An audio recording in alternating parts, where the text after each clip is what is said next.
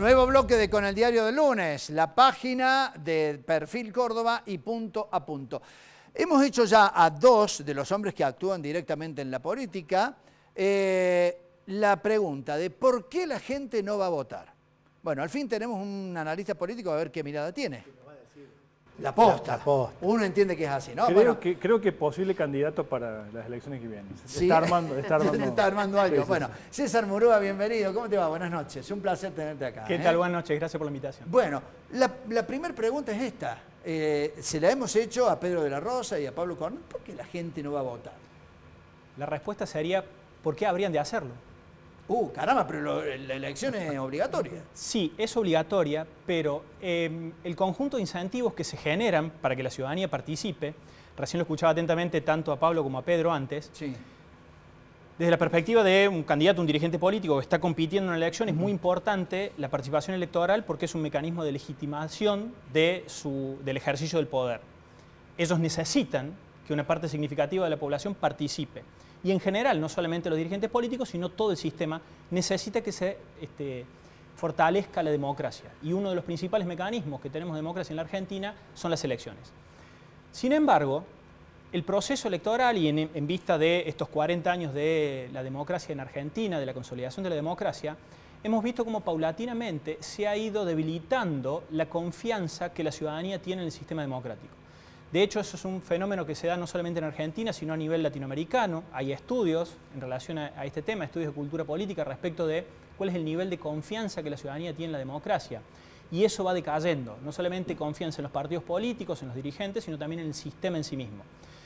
En consecuencia, en un contexto en el que eh, la política muchas veces se enfrasca en discusiones bizantinas que no tienen ningún tipo de sentido y a veces hasta pueden llegar a dar espectáculos penosos de cuestionamientos, de agravios y demás, eh, paulatinamente em, la ciudadanía pierde interés en algo que lo considera complejo, eh, alejado de sus propios intereses y a veces asociado a cuestiones negativas como la corrupción, este, los conflictos entre los dirigentes, las traiciones, etc.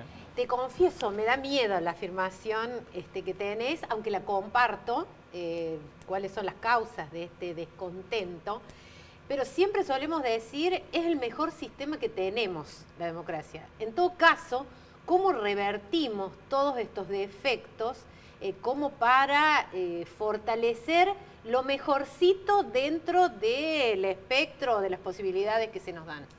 Probablemente necesitemos un diagnóstico extremo para notar la necesidad de ese fortalecimiento al cual vos haces referencia. Y eso tiene que ver con eh, cuál es el aporte que cada uno de los actores del sistema político realiza a ese fortalecimiento del sistema democrático. No solamente los candidatos, las autoridades electorales, hemos visto experiencias no precisamente positivas en ese sentido, al menos acá en Córdoba en las últimas dos elecciones, respecto de en qué medida las autoridades electorales trabajan para fortalecer el sistema democrático, para hacerlo confiable y al mismo tiempo incentivar la participación de los electores. Y al mismo tiempo también qué aportes pueden hacer, por ejemplo, los medios de comunicación, al quedarse o al, ir un paso más allá de lo que puede ser simplemente la polémica del momento, eh, o el intercambio de los agravios y darle, dedicarle unos minutos a, por ejemplo, preguntas como esta, cómo resolverlo, cómo revertir una situación que a priori se está planteando como negativa para el fortalecimiento de la democracia. César, y hay cuestiones de, vos mencionás, no están funcionando los incentivos, ¿no? Los incentivos no, no, son los correctos. También hay cuestiones este, eh, operativas, ¿no? Tener cinco elecciones como los cordobeses vamos a tener, este, no, no resulta, digamos, tampoco muy atractivo. Sí, además, eh, por ejemplo, en este momento, la que más interrogantes abre en términos de la funcionalidad, ¿sí? vamos a plantearlo en esos términos como elección, son las PASO. Puede llegar a tener sentido en aquellas fuerzas políticas que están dirimiendo una interna, sin ir más lejos, veamos lo que está sucediendo en Junto por el Cambio, las PASO para Junto por el Cambio son definitorias y de hecho hasta va a reconfigurar el resto del panorama y de la oferta electoral de el escenario de las elecciones generales. Sin embargo, para fuerzas que no están yendo a esas, este, primarias no tiene mucho sentido, incluso hasta se ha señalado que puede implicar hasta un mecanismo informal de financiamiento de algunas fuerzas políticas solamente por el hecho de recibir los fondos para la impresión de boletas, por ejemplo. Pero fíjate, César, que las últimas pasos fueron traumáticas, por todo lo que derivó en una diferencia que se esperaba de 3, 4 puntos a favor de uno u otro candidato y terminó siendo a favor de, creo que 15, 17 a favor de Alberto Fernández, caída del mercado, un gobierno que, terminó mal como el de Macri. Sí, en ese caso, en ese escenario de, de las PASO 2019, claramente era una, era una, elección por demás forzada, por así decirlo, porque ninguna de las fuerzas principales, digamos, por así decirlo, dirimía la conformación de su oferta electoral en esa elección.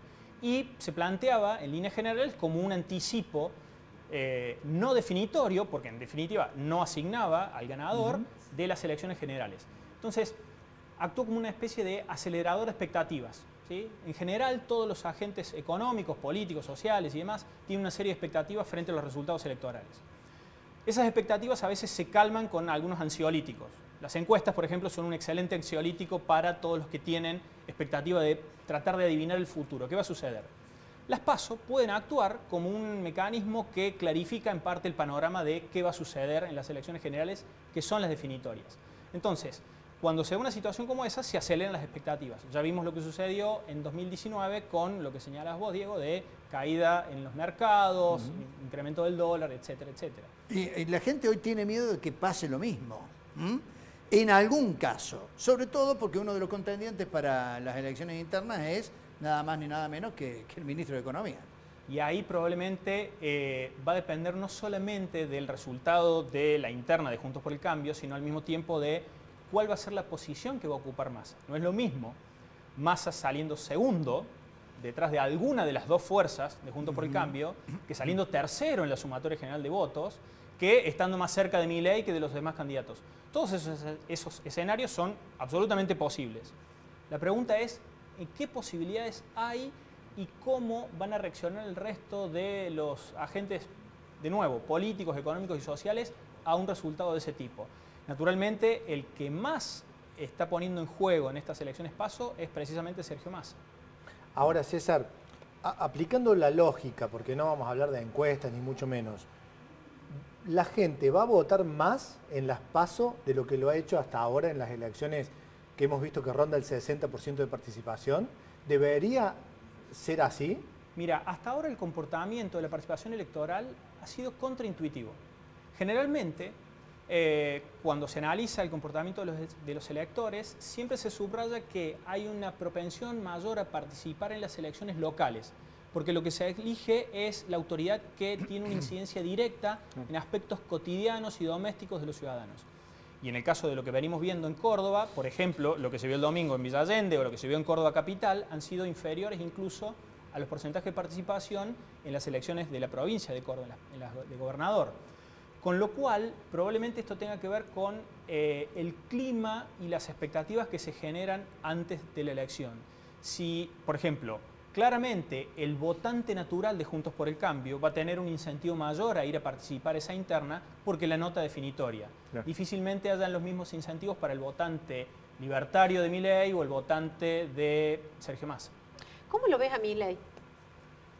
Bueno, eh, a priori probablemente parecería que se está desinflando lo que ha sido eh, la centralidad que tuvo en el ecosistema mediático. ¿sí? Tuvo una enorme centralidad, llamó mucho la atención. Eh, probablemente haya habido hasta una especie de sobreanálisis de su figura. Un colega me decía que se lanzó muy temprano, ¿no?